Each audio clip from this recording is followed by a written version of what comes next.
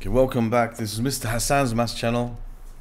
I'm now answering question number two from the January 2024 International A-Level Pure Mathematics P1 paper from Edexcel. And this question here is about trigonometry. We're told that there's a triangle ABC.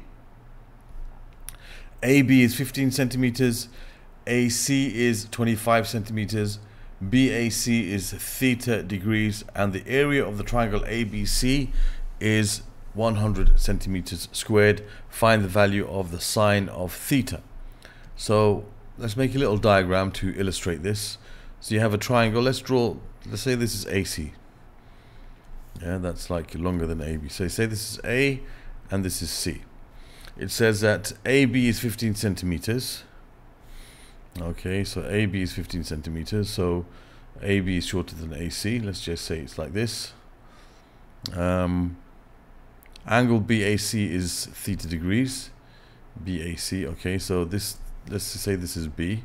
So AC, is, AB is, AC is 25 centimeters, and AB is 15 centimeters, and BAC is theta degrees. Okay, so let's draw that like this it's possible that it could look differently, different to this, but um, this could be one possible way that this um, triangle looks. Okay, um, and it says that the area of the triangle is 100 centimeters squared. So we can use our formula for the area of a triangle when, when you don't have the uh, vertical height, which is basically a half times AB sine C and A and B are the two sides and the angle is between those two sides. So when you have when you have two sides and the angle between them a half times the sum of those the product of those two sides times the sine of the angle between them is going to give you the area. So we can say here that the area is 100 equals a half times 15 times 25 times the sine of the angle theta so that will help us find what the value of sine of theta is. We only want the sine, we don't want to find what theta is itself, we want to find what the sine of theta is. So this will give us basically, um, if we divide 100 by 25, we get 4. So we're left with 2 times 4 is 8. So we have 8 over 15. Okay, so you end up with sine theta equals 8 over 15. So be careful here. Many people will go on to find theta okay? But they don't want us to find theta. They want the value of the sine of theta okay? So we stop there. We don't go any further than that. We don't write the value of theta okay? So please read the question carefully. All right for part A we don't want to find what theta is. All right for part B it says given that theta is greater than 90 find the length of BC in centimeters correct to three significant figures. Okay so now in this case um, this is the same information. What we realize is there's the way I've drawn it is not the way it should look. Because they've told us that theta is greater than 90 so actually this triangle could be exactly the same in terms of AB being 15 AC being uh, 25 if let me just uh, copy this. There's like two possible ways we could draw this. You could also have this being 15 centimeters okay? Like this. This could also be 15 centimeters. Okay? And the triangle could look like this and this could th this angle here can have the same value as a sine of theta. Okay? So if we take the the triangle looking like this this 15 centimeters is for AB by the way. Okay um, so that would be that would therefore be B over here so that's another possible um, shape for the triangle. And in this case, the sine of the theta will still be 8 over 15 because we know that the sine of theta is the same as the sine of 180 minus theta. We know two angles, they share the same sine ratio between 0 and 360. If this is theta, then that's going to be 180 minus theta. One of them is acute, the other one is obtuse. So basically, we could have the triangle looking like, like this one over here where our theta would be this angle here. Okay, so if we draw it like that, and we know this is obtuse, then we have to we we can um, answer the question. So the, the triangle could look like this. Could look like this. Um, sorry.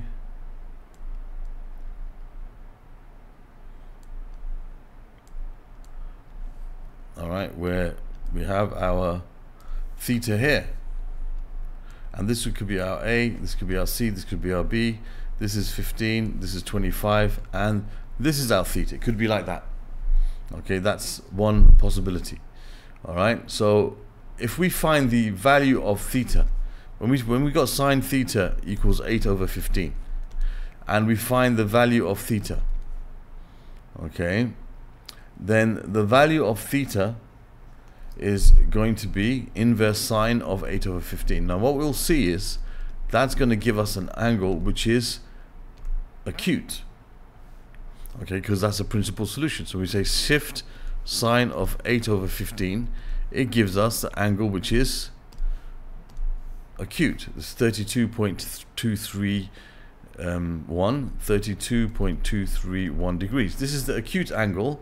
This is the angle over here, in this case here. Let's call it theta 1. Okay, let's call it theta 1. All right? So we know that the theta that we want, okay, the theta that we want is going to be 180 minus that angle there.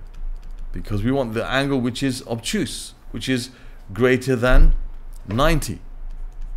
Okay, our angle is, this angle is acute because angle, the calculator will only give us the principal solution. So the principal solution we got would be the value over here, the angle, the value of this angle, that's 32.231. We want the, the, the obtuse angle which shares the same cosine ratio. In terms of quadrants, the calculator gave us this angle, we want the angle over there. So it's going to be 180 minus that angle. Okay, so it's going to be 180 minus the angle. So theta, our theta, so theta 1, which is the, the, angle that the calculator gave us, is the one that we don't want, the acute one. We've got to take this angle, do 180 minus this answer, and that will give us 147.769, 147.769. So this is the angle that we're actually looking for. Um, I haven't rounded it to one decimal place because that's not our answer. Our answer is to find, what we need to do is to find the length of BC. So we can find the length of BC um, by using, I guess, the cosine rule because we have this angle and we have the two sides that make the angle. We don't have any other angle, so we can use the cosine rule. So for to use the cosine rule, we're going to use the formula a squared equals b squared plus c squared minus 2bc times cosine a. This is actually given in the formula sheet, but you, know after some after even doing IGCSE, you should be fine with this just remember that this is the side you're looking for and this is the angle opposite that side. So we're going to use, we're going to say x squared, or we can say, let's just say x equals the square root of, and put everything in as it is. So you're going to have the two shorter sides, so 15 squared plus 25 squared, not two, I shouldn't say the two shorter sides, the two sides that make the angle that you know, minus 2 times 15 times 25 times the cosine of the angle between those two sides, which is 147.769, and that will give us the length that we're looking for.